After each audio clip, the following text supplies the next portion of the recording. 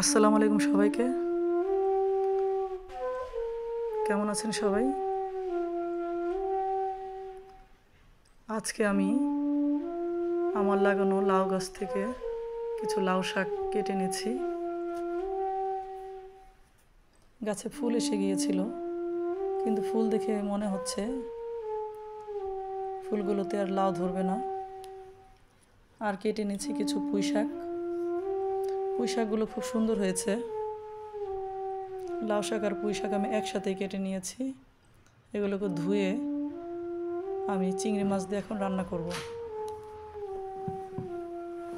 চিংড়ি মাছ কষিয়ে আলু দিয়ে দিচ্ছি। আলু কষানো হয়ে গেলে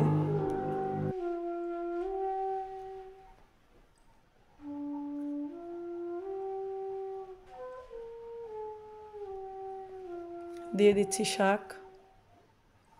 নিজের হাতের শাক সবজি রান্না করার আনন্দই অন্যরকম। শাকটাকে আমি একটু ঝোল ঝোল করে রান্না করব।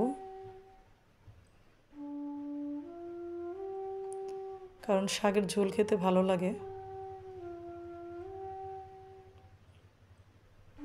প্রায় হয়ে গিয়েছে, এভাবেই রেখে দিব।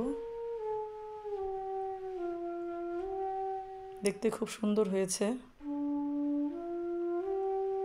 আজ এই পর্যন্তই। ভালো থাকবেন সবাই।